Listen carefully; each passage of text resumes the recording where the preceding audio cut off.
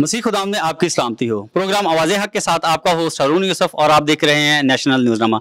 नाजरीन रात को आ, मैं यहाँ पे मौजूद था यहानाबाद डी ब्लॉक में और मैंने आपको दिखाया था और आपने वीडियो भी देखी थी कि यहाँ पे ईजीएम का जो चर्च है वहाँ पे कुछ नामालूम अफराद ने यहाँ पे आके पिस्टल दिखा के जो है वो दहशत फैलाने की कोशिश की। तो रात को कुछ लोगों से हम मिले और यहाँ के जो पास्टर थे उनसे भी बात हुई। लेकिन रात ज़्यादा होने की वजह से हम जो बाकी स्टाफ के जो लोग थे ईजीएम के जो ऑफ़िस का जो स्टाफ है उनसे हमारी बात नहीं हो सकी। और साथ ही साथ ईजीएम के जो, जो सीनियर पास्टर हैं मंजूर जलाल साहब उनसे भी हमारी बात नहीं हुई। लेकिन आज दोबारा से हम यहाँ पे मौजूद हैं ताकि हम उनसे जान सके कि कल जो वाक़ पेश आया उसकी हकीकी जो वजह है वो क्या है ताकि ये सारा जो मंजर है, आप तक पहुँच सके कि यहाँ पे योहानाबाद में किस तरह से दो नामालूम अफराद ने यहाँ पे एक रहायशी जगह पे आके जो है वो दहशत फैलाने की कोशिश की। तो मेरा कैमरामैन आपको दिखा सकता है, ये ईजीएम का ऑफ़िस है और नीचे रहायश है और ऊपर ईजीएम का ऑफ़िस है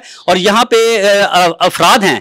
घर में जो है वो फैमिलीज़ रहती हैं, लेकिन क्योंकि ज़ाहिर सी बात है, यहाँ पे प्रे भी होती है, दुआ होती है लेकिन जब यहाँ पे कोई असला दिखाकर दहशत फैलाने की कोशिश करेगा तो पूरा इलाका जो है वो खौफ हरास में जो है वो मुबतला हो जाएगा। तो आए नाजरीन, हम उन सब लोगों से बात करते हैं, उनसे जानते हैं कि आखिर ये वाक़ हुआ क्या था। जी नाजरीन, अभी हमारे साथ ईजीएम के सीनियर पास्टर जनाब मंजूर जलाल साहब हैं, जो कि ईजीएम के चेयरमैन भी हैं। हम उनसे भी जानेंगे कि आखिर कल ये जो वाक़ पेश आया, इसकी वजह क्या है? सर, आप हमारे नाजरन को ज़रा बताएँ कि कल ये जो वाक़ पेश आया और कुछ लोगों ने यहाँ पे आके असरा दिखा के खौफ हरास जो है वो फैलाने की कोशिश की। मैं तो इधर नहीं था और मुझे इतला मिली साढ़े तीन, पौने चार बजे के करीब कि आपके हेड ऑफ़िस चर्च में कोई हंगामा कर रहा है, गाली गलोच निकाल रहा है और चर्च के दरवाजे तोड़ने की कोशिश कर रहा है और लोग बहुत खौफ ज़्यादा थे और मैं यहाँ जब आया तो बिल्कुल गली संसान थी और लोग खौफ ज़्यादा थे। और जैसे ही मैंने आकर लोगों से पूछा, बहुत सारी बच्चियाँ रो रही थी, परेशान थी। और क्योंकि वो बड़ी बदतमीजी कर रहा था लोगों के साथ। लोगों को कह रहा था कि आप बिल्कुल दरवाजे बंद कर ले। और अगर मैं इधर आज ये चर्च का तहस नहश करूँगा। और बच्चे, मेरे पोतरी मेरे पो, दो पोते बहुत परेशान थे और वो रो रहे थे चिल्ला रहे थे वो भी अंदर से और दरवाज़ा नहीं खोल रहे थे।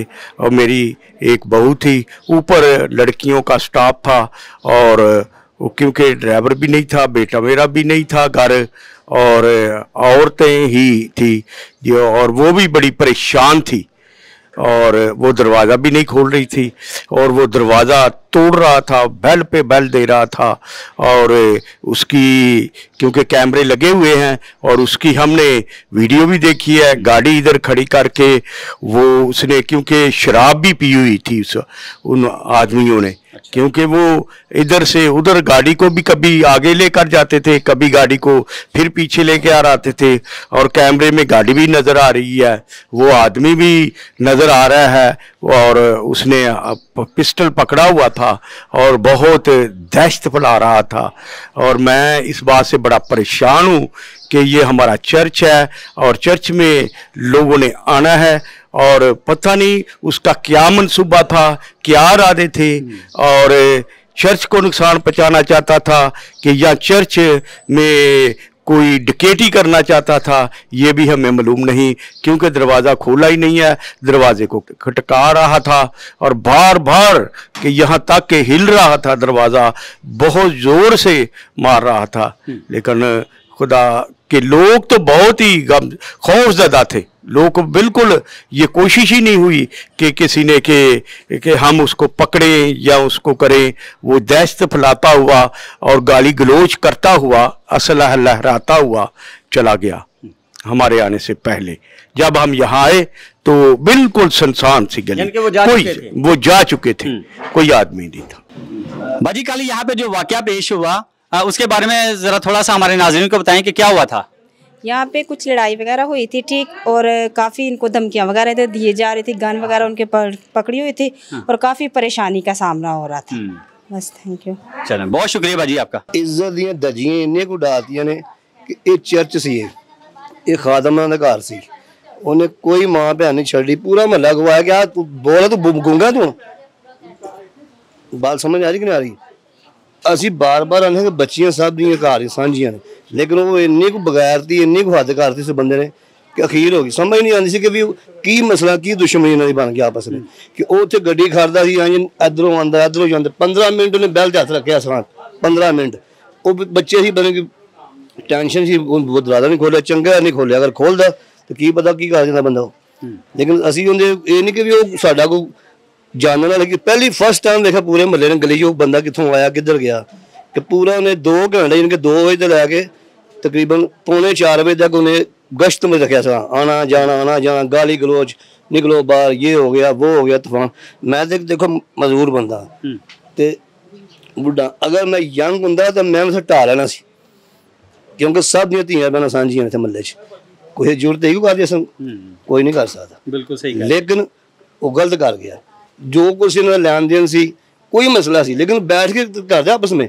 समझौता इस तरह थोड़ा भी सारा महला सारी खलकत कट्ठी आई बिला वजे तो गलत किया उन्हें तो लिहाजा अस इस चीज़ की ज़्यादा मजम्मत कर लेंगे इस तरह नहीं होनी खलाक दी उन्हें दर्जियाँ डाल दी ना तो वह कितने चले गए हैं तो ना ही वह चले गए सारी उन्होंने आवाम सारा खानदान इतें ही पिया ठीक है लेकिन वो इस तरह आया जिस तरह कि पता नहीं कोई शैतान सी कोई उन्हें कोई की किया बंदा शराब जी एक तरह नशे ਬੰਦਾ ਸ਼ਰਾਬ ਜੀ ਕਿਸੇ ਨਸ਼ੇ 'ਚ ਲੇਕਿਨ ਗਲਤ ਕਰ ਗਿਆ ਬਸ ਉਹ ਬੱਚੀ ਸੀ ਸਾਹਮਣੇ ਘਰ ਵਾਲੀ ਉਹਨੇ ਵੀ ਬਾਹਰ ਨਿਕਲ ਗਿਆ ਕਿ ਭਾਈ ਤੁਸੀਂ ਨਾ ਕਰੋ ਇਸ ਉੱਪਰ ਚਰਚ ਦਾ ਘਰ ਹੈ ਕਹਿਣ ਦਾ ਮਕਸਦ ਇਹ ਕਿ ਉਹਨੇ ਇਸ ਚੀਜ਼ ਨੂੰ ਵੀ ਵੇਖਿਆ ਕਿ ਮੁਕੱਦਸ ਜਗ੍ਹਾ ਸੀ ਖਾਦਮ ਹੈ ਫਿਰ ਉਹ ਫਿਰ ਖਾਦਮ ਦੇਖੋ ਕਲਾਮ ਵੀ ਕਹਿੰਦਾ ਕਿ ਜਿਹਨੂੰ ਮੈਂ ਕਰ ਦੇਵਾਂ ਮਸਾ ਉਹਨੂੰ ਕੋਈ ਨਹੀਂ ਕਰ ਸਕਦਾ हाँ जी नाजरीन इसी गली की एक आंटी जी हमारे साथ मौजूद हैं हम उनसे भी पूछेंगे कि आखिर कल यहाँ पे क्या वाकया बजी पेश हुआ है हमारी गली में तो कल ऐसे सा कोई दहशत गर्दा आ गया है। और इतनी खामोशी से आ गई कि सारी गली में सन्नाटा हो गया लोग घरों के अंदर चले गए। और जब हमने वो गाड़ी देखी तो वो बार बार आके बार बार उनका दरवाज़ा नो कर रहा था एडवर्ट का। और बड़ी गंदी गंदी गालियाँ दी है उसने। तो सारे लोग अपने घरों में छतों में यहाँ तक मेरा बेटा मुझे आगे भी नहीं होने दे रहा था कि मामा कहीं वो ऐसी वारदात ना कर दे। तो बस ये वाक्य हुआ कल। आंटी जी कल जो यहाँ पे वाकया पेश आया आप भी यहाँ पे मौजूद थे और आपने अपनी आँखों से इस सारे वाकया को देखा। तो हमारे नाजरन को बताएँ कि आखिर उन्होंने गाड़ी कहाँ पे खड़ी की और वो किस तरह क्या कर रहे थे? गाड़ी इधर खड़ी थी। अच्छा जी। तो इधर खड़ी थी तो हमने देखा तो पहले तो उन्होंने फ़ोन पकड़ा हुआ था। हाँ हाँ। तो मोजर उनका जो गाड़ी में पड़ा हुआ था। हम्म। तो किसी ने उसको कुछ कहा नहीं। क्योंकि सबको इज्जत प्यारी है हम्म बस ये हमने देखा है अंकल जी कल यहाँ पे जो वाकया पेश हुआ और आप भी यहाँ पे घर में मौजूद थे और बिल्कुल आपके साथ वाला घर है आपने क्या देखा ਆਪ ਜੀ ਉਹ ਆਏ ਨੇ हम्म ਤੇ ਉਹਨੇ ਡਿਊਟੀ ਸ਼ੂਟੀ ਮਾਰੇ ਨੇ ਬੱਲਾ ਦਿੰਦਾ ਗਿਆ ਤੇ ਮੈਂ ਆਖਿਆ ਪੁੱਤਰਾ ਗਾਲਾਂ ਨਾ ਕੱਢ ਆਂਦਾ ਬਾਬਾ ਜੀ ਤਮੀਜ਼ ਨਾਲ ਬੈਠੇ ਰਹੋ ਗੱਲ ਕਰਨ ਦੀ ਕੋਈ ਲੋੜ ਨਹੀਂ ਤੁਹਾਡਾ ਕੰਮ ਹੀ ਕੋਈ ਨਹੀਂ ਬੋਲਣ ਦਾ ਅੱਛਾ ਤੇ ਉਹ ਠੁੱਡੀ ਛੱਡੀ ਮਾਰਦਾ ਰਿਹਾ ਜੋ ਉਹਦੇ ਮੂੰਹ ਚ ਆਈ ਗੱਲਬਾਤ ਉਹ ਕਰਦਾ ਰਿਹਾ ਵੇ ਤੇ ਮੈਂ ਅੜ ਕੋ ਸਕ ਬਾਬਾ ਚੁੱਪ ਕਰਕੇ ਅੰਦਰ ਚਲਾ ਜਾ ਮੈਂ ਬੇਟਾ ਚੁੱਪ ਕਰਕੇ ਤੇ ਫਿਰ ਅੰਦਰ ਚਲਾ ਗਿਆ ਯਾਨੀ ਕਿ ਤੁਸੀਂ ਕੋਈ ਗੱਲ ਨਹੀਂ ਕੀਤੀ ਨਹੀਂ ਨਹੀਂ ਮੈਂ ਨਹੀਂ ਕੀਤੀ ਗਲਤ ਗੱਲ ਨਹੀਂ ਮੈਂ ਨੇ ਪੁੱਤਰਾ ਗਾਹ ਨਾ ਕੱਢ ਤੇ ਆਂਦਾ ਬਾਬਾ ਜੀ ਤੇਰਾ ਕੋਈ ਕੰਮ ਨਹੀਂ ਵਿੱਚ ਗੱਲ ਕਰਨ ਦਾ ਮੈਂ ਤੂੰ ਗਾਲਾਂ ਨਾ ਕੱਢ ਤੂੰ ਅੰਦਰ ਕਰ ਉਹ ਫੇ ਮਾਰਦਾ ਰਿਹਾ ਮਾਰਦਾ ਰਿਹਾ ਕਦੀ ਠੁੱਡੇ ਮਾਰ ਕਦੀ ਗਾਲਾਂ ਕੱਢ ਕਦੀ ਠੁੱਡੇ ਮਾਰ कि मैं मैं क्या नहीं जानता तू बाबा चुप करके अंदर चला जा अपने। हम्म। जी नाजरीन अभी मैं ईजीएम के ऑफ़िस के अंदर जा रहा हूँ और यहाँ पे जो ईजीएम का जो स्टाफ है आ, मैं उनसे भी जाना चाहूँगा और उनसे पूछना चाहूँगा कि ज़ाहिर सी बात है जब वो सब यहाँ पे मौजूद थे और उन्होंने भी गाली ग्लोज सुना, उन्होंने मतलब दरवाज़ा जो है वो यहाँ पे पीटा जा रहा था। तो ज़ाहिर सी बात है वो डर गए होंगे। जी नाजरीन, अभी मैं एजीएम के जो चर्च हॉल है, वहाँ पे मैं आ रहा हूँ और यहाँ पे मैं आपको दिखाऊँगा कि ये चर्च कंपाउंड है और जहाँ पे जो है इबादत होती है और यहीं पे साथ ईजीएम का ऑफ़िस है और ऑफ़िस में जो लोग हैं वो भी मौजूद थे, मैं उनसे भी जानूँगा कि आखिर कल का जो वाक्य है वो उसको किस तरह से लेते हैं। जी नाजरीन, ये ईजीएम का ऑफ़िस है और मैं यहाँ पे आया हूँ और मैडम आप, मिस आपका नाम क्या है? स्नेहा। यहाँ पे मेरे साथ मिस स्नेहा है। मिस स्नेहा आप हमें ज़रा बताएँ कल यहाँ पे एक दहशतगर्दी का वाक़ हुआ और कुछ लोगों ने आके यहाँ पे गाली गलोच किया असला लहराया और ख़ास करके ईजीएम का जो चर्च गेट है उसको भी उन्होंने काफ़ी ज़्यादा जो है वो धक्का मुक्की की है उसको ज़्यादा बहुत ज़्यादा नॉक किया है। तो आप क्या सोचते हैं कि कौन लोग थे वो? बहुत ज़्यादा डर गए थे हम लोग। और लॉक कर लिया था हमने नीचे से सारा घर को ऊपर से भी लॉक कर लिया था। अच्छा। यहाँ से भी सारे दरवाजे बंद कर लिए थे हमने। हम्म। और आप डर गए थे? जी बिल्कुल। हाँ और आपने ऊपर से मतलब देखने की कोशिश की कि नीचे क्या हो रहा है? वो बहुत ही ज़्यादा गालियाँ निकाल रहे थे हम हम्म। डर गए थे हम बाहर ही निकले। आप बाहर नहीं निकले? जी नाजरीन स्नेहा ने कहा कि हम बाहर नहीं निकले। इसका मतलब है कि वो डर गए और उन्होंने देखा कि यहाँ पे अगर कोई दरवाजे को कोई पीट रहा है और उसके हाथ में असला है तो ये बच्चियाँ हैं। ये कैसे बाहर निकलेंगी और कैसे उनका मुकाबला करेंगी? जी नाजरीन अभी मेरे साथ मौजूद हैं जफ़र गौरी साहब जो कि योहानाबाद के रहायशी हैं और एक समाजी कारकुन भी हैं। तो जफ़र साहब आप हमें ज़रा थोड़ा सा बताएँ कि आप इस वाक़ को किस तरह से लेते हैं कि यहाँ पे कल लोगों ने असला लहराया और लोगों को जो है वो डराया धमकाया? सीम साहब को सलाम। जब मुझे सर ने कॉल की, तब कोई रात साढ़े आठ, नौ बजे के ऐसे ऐसे कोई वाक़ हुआ है मेरे घर आओ फ़ौरन। तो जब हम आए तो यहाँ उस वक्त तो बहुत मैं इंसान था, सारे मोहल्ले में बहुत ज़्यादा खौफजदा थे। लेकिन दर हकीकत बात यह है कि उस टाइम घर में कोई भी नहीं था, यहाँ मगे औरतें दुआ कर रही थी, स्टाफ की औरतें थी, घर में वे हमारी भाभी थी, बच्चे थे। लेकिन खुदा खास अगर यहाँ कोई होता तो ये वाक़ पेश ना आता लेकिन फिर भी उन लोगों ने सुना है कि बहुत ज़्यादा गालियाँ निकाली हैं, उनके हाथ में असला था असला लहरा रहे थे, गाली गोच कर रहे थे। तो लेकिन उन्होंने काफ़ी ज़्यादा बदमीजी की है, पूरी गली, पूरा मोहल्ला बहुत ज़्यादा परेशान थे। तो मेरी अल्लाह माँ से गुजारिश है कि जो भी हमारी ये वीडियो देखे, हमारा साथ दे, ताकि ये मसीहों के घरों में जो वाक़ हो रहे हैं, ऐसे वाक़ ना हाँ। जी नाजरीन, अभी मेरे साथ मौजूद हैं एजीएम के एग्जेक्टिव डायरेक्टर जनाब एडवर्ड कैसर साहब और मैं आपको बताना चाहता हूँ कि एडवर्ड कैसर साहब जो हैं एक तो वो एजीएम को देखते हैं और इनके क्रेडिट में बहुत सारे काम जाते हैं जिसमें स्टूडेंट्स के लिए स्कॉलरशिप है, लोगों के लिए जो राशन का बंदोबस्त है वो ये करते हैं। इसके अलावा लोगों की जो माली मावनत है उसमें ये बढ़ चढ़ वो अपना रोल अदा करते हैं। और यहाँ पे इस जगह पे ये वाक़ रोनमा होना उनके लिए ज़ाहिर सी बात है एक परेशानी की बात है। तो मैं जानना चाहूँगा उनसे कि वो इस वाक़ को किस तरह से लेते हैं और वो क्या सोचते हैं कि इस तरह का वाक़ जो है वो हमारी क्रिश्चियन कम्युनिटी के लिए और ख़ास करके हमारे अदारों के लिए हमारी इबादत गाहों के लिए किस तरह से जो है वो नुकसान का बायस है। तो एडवर्ड भाई आप हमारे नाजरन को ज़रा बताएँ कि आप इस वाक़ को किस तरह से जो है जी सबसे पहले मसीह खुदा आप सबको सलाम। और मैं नेशनल न्यूज़ का सबसे पहले शुक्रगुजार हूँ कि कल भी उन्होंने इस सारे मैटर को और जो भी हुआ है, हादसा हुआ है यहाँ पे मेरी फैमिली के लिए और चर्च के लिए और दूसरी जगह पर भी जो हमारा चर्च है, वहाँ पे स्कूल है स्विंग प्रोग्राम चल रहा है और वहाँ पर भी जो हादसा हुआ है, उसको कवर किया, उसको हाईलाइट किया और मैं नहायत इस बात के लिए नेशनल न्यूज़ का और उनकी पूरी टीम का पाकिस्तान में और अब्रॉड में उन सब का शुक्रगुजार हूँ। एक्चुअली कल का ये वाक़ नहायत ही हमारे लिए शॉकिंग है। मेरे बच्चे और मेरी मिसेज और घर के में जितने भी फैमिली मेंबर्स थे, उनके लिए और ख़ासकर मेरा स्टाफ जो है वो जो गर्ल्स थी, जो ऊपर स्टाफ हैं, उनके लिए बड़ा शॉकिंग था। अनफॉर्चुनेट उस वक्त कोई मेल नहीं था और सिक्योरिटी गार्ड भी जो था, वो उस कल के दिन जो था, उसका ऑफ़ था। अगर वो जो लोग जो आए थे, उन्होंने ड्रिंक की हुई थी, शराब पी हुई थी और डेढ़ घंटा जो है वो गाली गलोच करते रहे, कोई भी मैटर हो, उसको बैठ के सिटिंग करके किया जाता है हल किया जाता है लेकिन मुझे मालूम ही नहीं है कि वो कौन शख्स है और उसका मैटर क्या है। लेकिन मुझे इतना पता है कि कुछ अरसा पहले कुछ दो तीन माह पहले से मुझे थ्रेटनिंग कॉल आ रही हैं और कुछ लोग जो है वो मुझे थ्रेट भी कर रहे थे कि हम हमें पैसे दिए जाएँ और आप हमें इस तरह से डिमांड कर रहे थे पैसों की।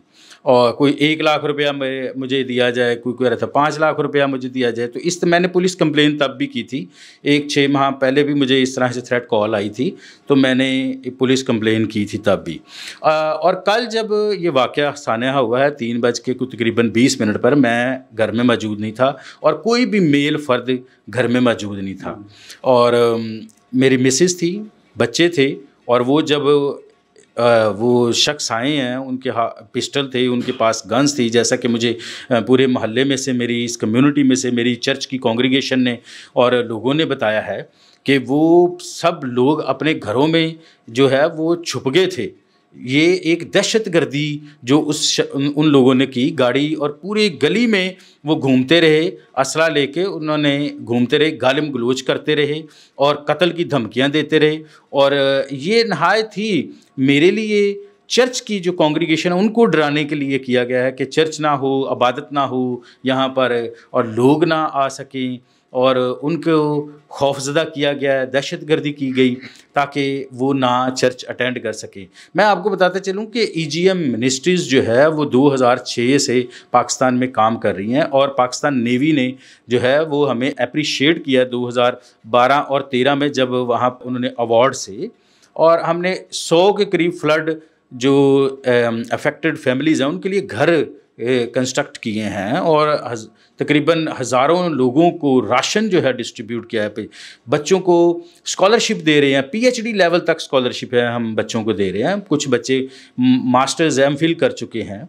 और जब इतना वेल रिप्यूटेड अदारे को इस तरह से थ्रेट किया जाएगा उनसे डिमांड की जाएगी पैसों की हरास किया जाएगा तो मैं हमारे लिए काम करना मुश्किल होता है।